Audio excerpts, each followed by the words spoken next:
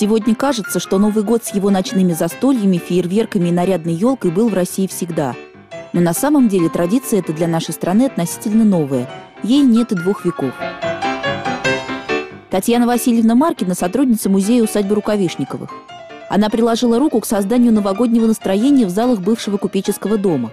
Своими знаниями о празднике Татьяна Васильевна охотно делится с другими – ведь многие юные посетители музея часто даже не догадываются, что елка – это символ Рождества, а не Нового года. В VIII веке святой Бонифаций хотел язычников обратить в христианство. И он повелел срубить дуб, которому они поклонялись. Когда дуб падал, он вокруг повалил все деревья, и только молодая елочка осталась целой невредимой. И тогда он сказал, пусть это дерево будет деревом Христа. И вот отсюда пошла традиция устанавливать в рождественские дни елку. Поначалу ни о каких украшениях речи не шло. В Германии на Рождество было принято просто сажать молодые ели. Желание внести украшенное дерево в дом появилось у европейцев только в 17 веке. Через сто лет эта мода пришла и в Россию. В нашей стране долгое время Новый год не был зимним праздником – Наступление его до конца 15 века отмечали в марте, а в 16 веке – 1 сентября, когда крестьяне начинали собирать урожай. Лишь в 1699 году царь Петр I повелел встречать Новый год на европейский манер 1 января. По царскому приказанию празднования должны были длиться целую неделю. В это время жгли костры, полили из пушек и украшали дома. В частности, он повелел украшать э, ворота домов, крыши домов ветками ели. Но эта традиция очень долго не приживалась, и в основном она прижилась э, в кабаках и трактирах. На, у входа в трактир или в кабак и на крыше устанавливалась елка. И она, как правило, стояла там до следующего года, до следующей зимы. И поэтому существовало такое даже выражение в народе «сходить к елкину», это значит сходить в кабак. И только в 40-е, 50-е годы XIX века вот эта традиция устанавливать елку в домах начинает приживаться у нас в России. Лесная красавица, как и в Европе, стала символом Рождества. Ведь по юлианскому календарю оно наступало раньше Нового года.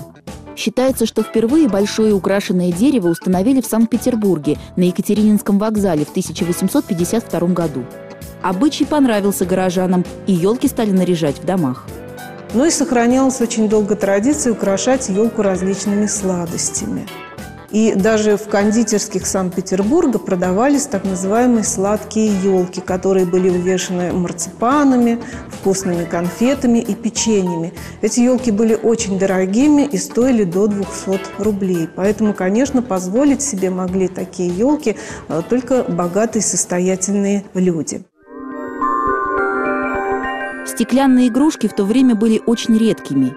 Их привозили из Европы, и такие наборы стоили дорого. Даже в домах аристократии предпочитали создавать украшения своими руками. Зимними вечерами семьи собирались в гостиных и делали игрушки из ткани, картона, ваты. Но все равно на веточках ели рядом с конфетами и орехами в золотой фольге появлялись покупные украшения. Например, вот такие фигурки зверей из Дрездена – в коллекции нашего музея сохранились такие дореволюционные игрушки, сделанные из прессованного картона. Это, например, лев, слон, олень, которые украшали дореволюционные елки. Ну и также различные куколки вешались. Ну и, конечно, на елку обязательно устанавливали свечи. Конечно, не в каждой семье, но свечи, они действительно загорались, горели настоящим огнем. Это было небезопасно. И для того, чтобы поджечь такую вот гирлянду свечей, они соединялись ниткой, которая смачивалась раствором э, фосфоросодержащегося вещества.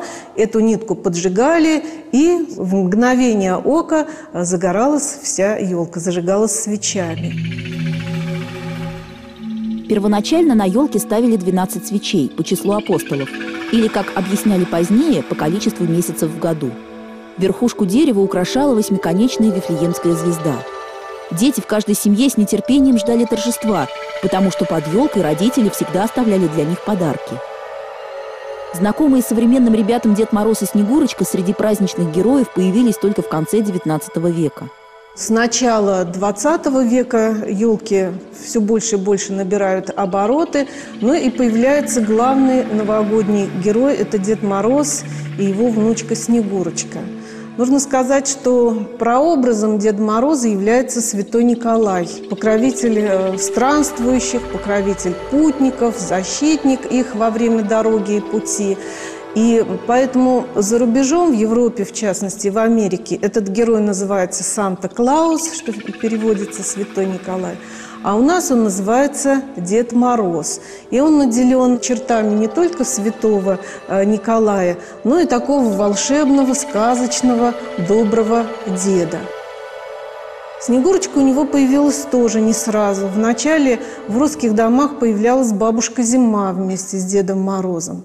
Ну, а потом, видимо, по мотивам э, русских сказок и сказка Островского «Снегурочка» всем известна, Деда Мороза стала сопровождать такая внучка Снегурочка, красивая, веселая э, девочка, которая тоже приносит счастье и радость в дома, в семьи. Массовые елки поначалу устраивали даже в советское время. Но в 1929 году Рождество было названо Поповским праздником и официально отменено, а Новый год стал обычным рабочим днем. Только в 1935 году елка была реабилитирована, и новогодние гуляния признаны прекрасным развлечением для детей трудящихся. Сегодня елка снова царица праздника. Ее украшают фабричные стеклянные шарики, мишура и электрические гирлянды – но старые елочные игрушки все равно вызывают умиление и восторг.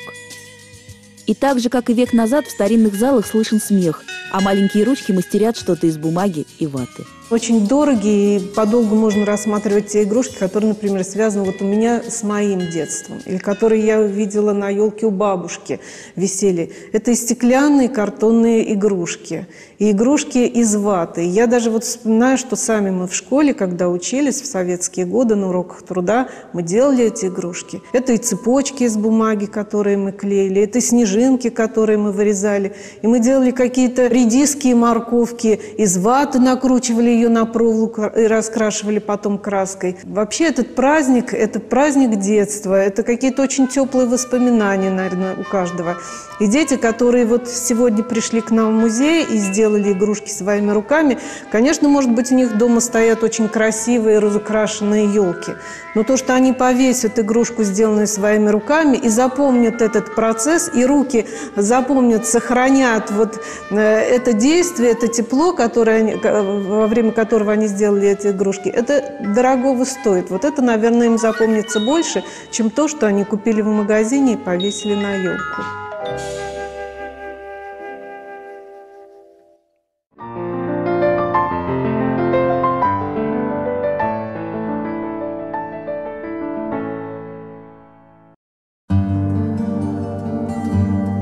Детства многие привыкли к Новому году и Рождеству делать подарки своими руками. Ведь эти праздники семейные, и так приятно знать, что кто-то из близких людей с любовью мастерил для тебя елочную игрушку – но не у всех в праздничные дни получается провести время с родными. Например, такой возможности лишены пожилые люди в домах престарелых. Порадовать их решили волонтеры общественной организации «Территория добра». Они организовали мастер-классы, чтобы научиться делать подарки для своих подопечных. Люди, которые живут в доме престарелых, это, им как раз больше всего не хватает именно вот этого тепла. И бывает так, что когда придешь, приходишь просто вручить им подарок, бабушка вот так за руку тебя берет, и не, не отпускает. И начинает тебе что-то рассказывать, и по руке тебя гладит. И то есть просто вот понимаешь, что им нужно просто, чтобы кто-то рядом посидел, выслушал, порадовал вот какой-то вот такой вот домашней вещью, не из магазина, а вот именно то, что они же понимают, что это делали люди своими руками и думали о них, да, что это делают для них. У пожилых людей у них какая-то другая радость. Дети радуются, потому что у них это первый раз, а у взрослых, у пожилых людей это буря воспоминаний, как-то вот оживляет. Они вспоминают, наверное, свое детство, наверное, свою счастливую жизнь, когда они дарили подарки своим детям. Вот. Я думаю, что вот самые светлые воспоминания, вот они получат именно, когда будут держать в руках наши, ну, может быть, не очень удачные, но от всего сердца сделанные игрушки. Во время мастер-классов было сделано несколько сотен открыток и елочных игрушек. Их создавали не только взрослые, но и дети – в праздничные дни эти подарки принесут радость семи сотням пожилых людей и инвалидов. На елку обязательно повесим эти игрушки, раздадим по комнатам проживающим, они украшают свои комнаты.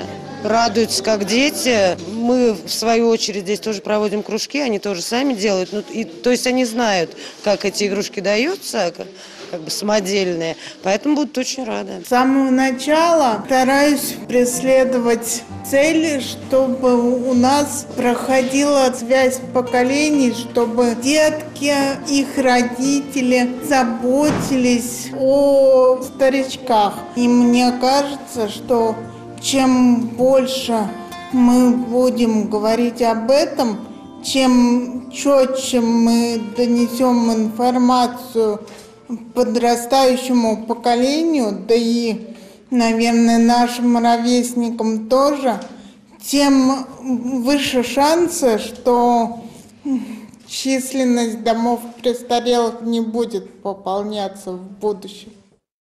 Принесли вам сладкий подарок и желаем вам в новом году побольше улыбаться, побольше вам здоровья и хорошего-хорошего настроения. Сормовский дом-интернат для престарелых и инвалидов волонтеры территории добра опекают уже три года. Здесь постоянно живут 70 человек, и все они радуются каждому визиту добровольцев. Молодые люди привозят необходимые пенсионерам вещи, устраивают для них концерты и чаепития. Мы так благодарны от всего сердца, вот от всех говорю, что мы очень и довольны.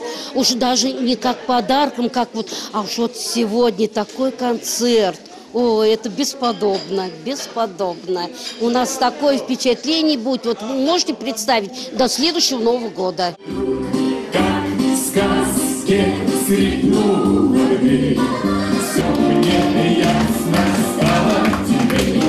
Праздник завершился веселым действом. Настоящие Дед Мороз и Снегурочка подарили жителям интерната самодельные открытки. Их бабушки и дедушки будут долго хранить и часто перечитывать. Ведь в каждой искренние пожелания хорошего настроения и здоровья, которых им так часто не хватает.